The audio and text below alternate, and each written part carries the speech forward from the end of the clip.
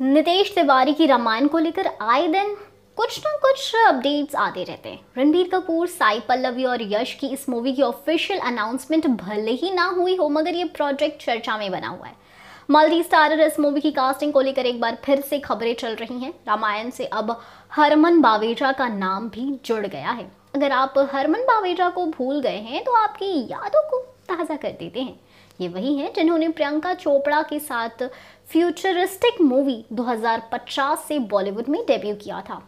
जो मूवी नहीं चली थी, एक तो पता नहीं इंडिया और फ्यूचरिस्टिक मूवी का क्या क्रॉस कनेक्शन है, जो भी एक्ट्रेस मूवी में काम करता है, वो बेचारा फ्लॉप स्टार की लिस्ट में ही आ जाता है। अब चाहे वो हरमन हो, प्रभास या फिर टाइगर श्रॉफी क्यों ना हो।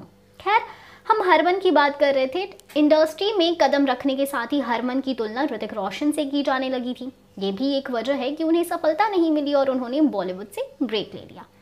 हरमन बावेजा, रामायण में विभीषण का रोल निभा सकते हैं। पहले बताया जा रहा था कि विभीषण का रोल विजय सेतुपति निभाएँगे। मगर अब खबर आ रही है कि ये रोल हरमन बावेजा की झोली में जा गिरा है।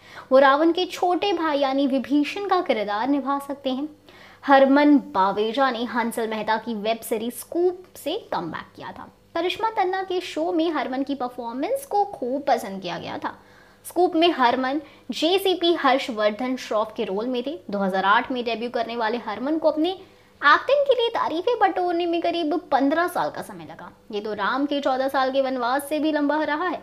और इत्तेफाक देखो, अब ये विभीषण बन रहे हैं राम के वनवास को ख़त्म करने के लिए। दुनिया सच में कितनी छोटी है। अब नितेश तिवारी के रामायण में उनकी परफॉर्मेंस कैसी होगी, ये तो वक्त बताएगा। हालाँकि रामायण की कास्टिंग को लेकर अभी तक कोई भी ऑफिशियल अनाउंसमेंट नहीं की गई है। रिपोर्ट्स के मुताबिक नितेश तिवारी इस साल रामनवमी के मौके पर रामायण अनाउंस कर सकते हैं। तीन पाँच में बनने वाली इस रामायण की ऑफिशियल अनाउंसमेंट सत्रह अप्रैल को हो सकती है।